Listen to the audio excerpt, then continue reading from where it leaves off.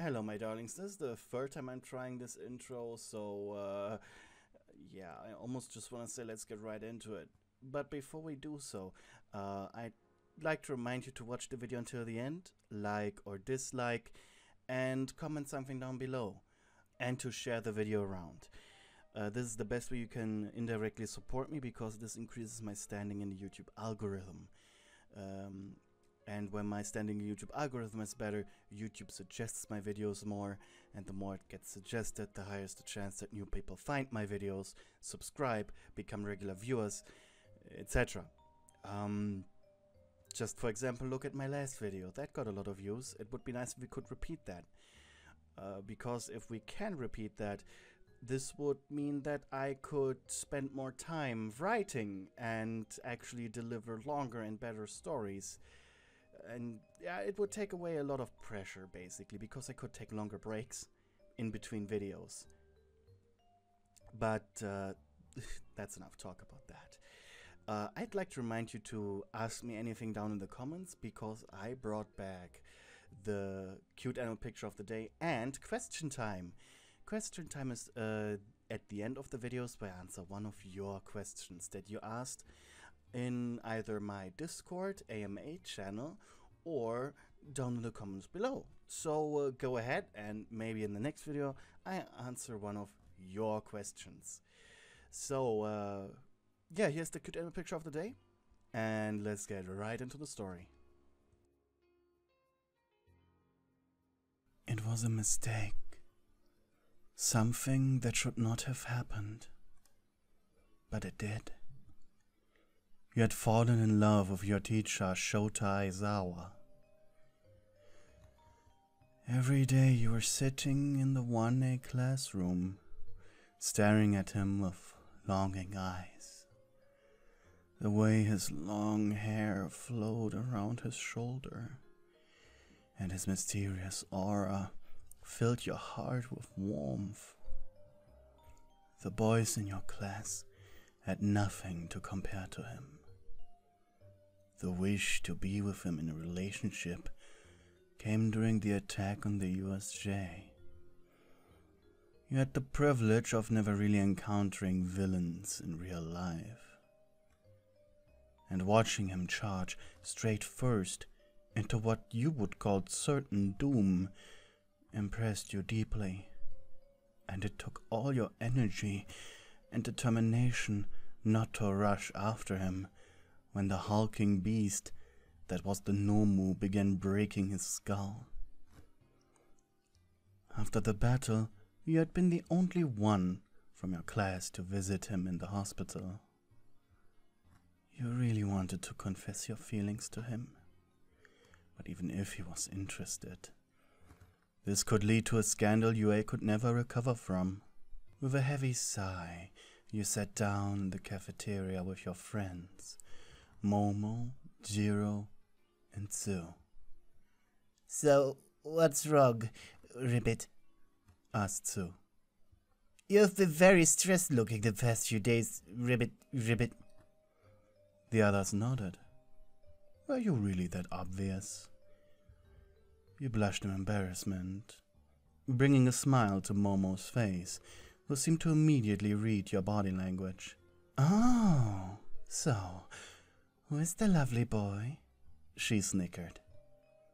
Your blush intensified, and you whimpered. Jiro chuckled.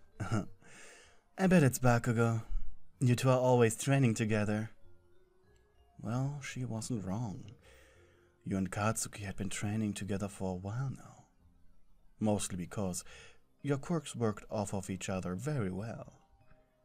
Your quirk, make love not war, allowed you to secrete a napalm-like substance from your hands.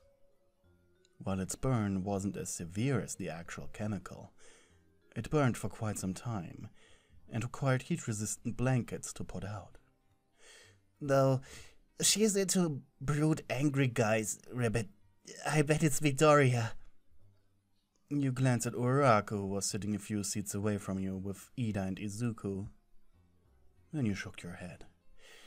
Izuku is nice, but I don't really like green. Tsu blinked a few times in response, clearly thinking of a witty remark to throw at you. And you quickly added, On my guys, Tsu. I didn't mean to offend. She gave a content sigh, and immediately your friends returned to the guessing game, which eventually turned into a heated debate on who the hottest guy in class was. Until about three minutes of your lunch break were left, and you felt Jiro put her arm on your shoulder. Please, she said, worry and fear in her eyes. Please don't say it's Mineta. Hearing Jiro even assume it felt like an insult to you, and you shook your head. No, I'm not into perfs, you said meekly. Besides, you checked your right and left just to be safe. His girlfriend would kill me. I mean, have you seen what she did to Manamoa? The other girls nodded in unison. Just tell us already, demanded Momo. I can't. You mumbled and bit your lower lip. He would get into trouble. Tsu's eyes widened. So it's a teacher, Ribbit! She blurted out, and Momo gave her a light slap on the cheek. Not so loud. If it really is a teacher, she could get in trouble just for this. Ugh, sorry, Ribbit. Once again you blushed, and the conversation died down. Your friends tried to cheer you up, but this realization hung heavy between you and them. On your way back, Jiro was the first to talk. You know, it's not uncommon for students to like their teachers a little too much. Momo nodded. Besides, it's just a crush. You'll get over that. You knew they were trying to prevent you from doing anything stupid, but it felt really judgmental from them. The rest of the day went on as normal. However, you could not spare to look at Aizawa for too long. Otherwise, the others would figure out who it really was. Once school was over, you stayed inside the classroom as per usual. You wanted to be the last to leave, so you could stay with your sensei as long as possible. Today was a special occasion, as he stayed behind correcting class tests. While you pretended to go over your own class material a few more times to make absolutely sure you understand them, at least that was your excuse. Occasionally, you heard your teacher chuckle while correcting the papers, which was almost followed by him clicking his red pen and writing up a storm into the unfortunate student's work. By now you could tell whose work he was correcting by the frequency of times it happened, and the length of text he was sarcastically writing. Right now it must be either Mina or Kaminari, by the way he was both laughing and writing Clearly, the man loved his job. Can you keep a secret? He said suddenly. Uh, I can, Sensei. You answered with a blush, and he chuckled. Sometimes I really wish the privacy rules weren't so strict, because I would love to share this with anyone, really.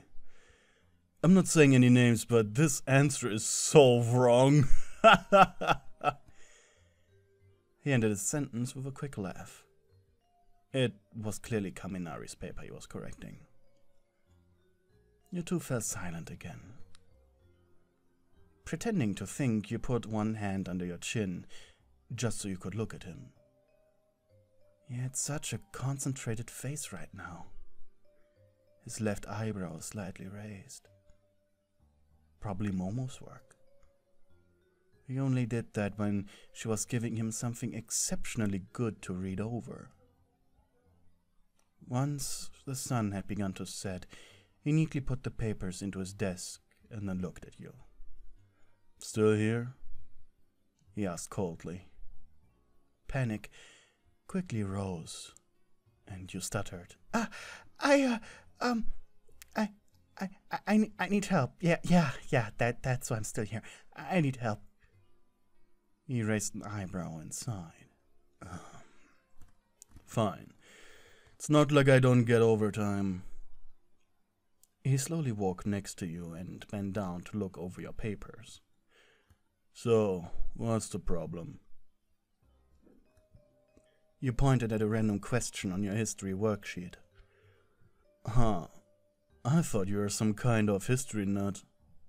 Thought you'd be able to answer it. Aizawa paused and gave you a look. Are you lying to me? he asked. You gave a meek whimper in response. If you have a crush on me, say it. Not like you're the first one. I'm sorry, Sensei? Your teacher sighed and sat down on the empty desk next to yours, followed by a cold stare. So my intuition was right. Huh. He gave a quick chuckle. Guess I owe Midnight ten bucks now. Ten bucks? You mumbled. He crossed his arms and looked away. Oh. Few years ago now, me and her have a bad running. She says that one day I will develop feelings for a student, and they will have them for me too. Wait, what? Did Aizawa just tell you that he had a crush on you too? It's not professional. Something I really try not to be. He smiled. A genuine smile, filled with promises and love. Three years this bet has been running until you came to class. There's just something about you. You're mature and have quite a cute face that is difficult to resist. Your heart jumped upon hearing him praise your looks like that. I love you, Sensei. You bleated out, not being able to hold your emotions back anymore. He scratched the back of his head before standing up and towering over you.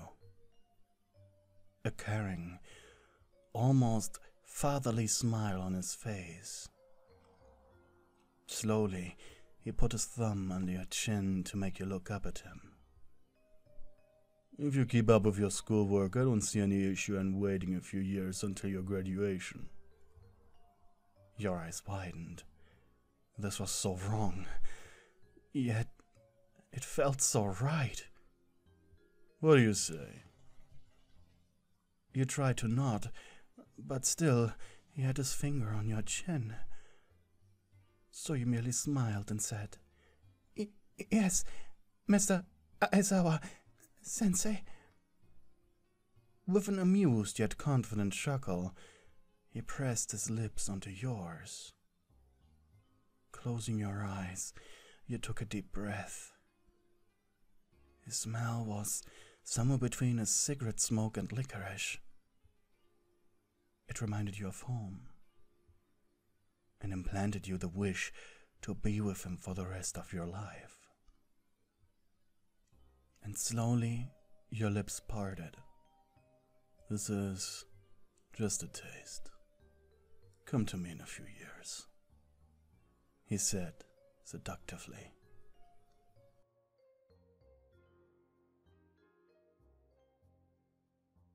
Welcome to Question Time, the part of the video where I answer one question and one question only. And today's question was given by Lily Fly.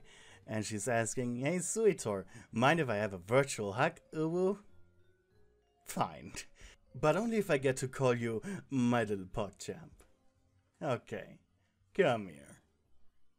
And yes, I allow you to take this out of context.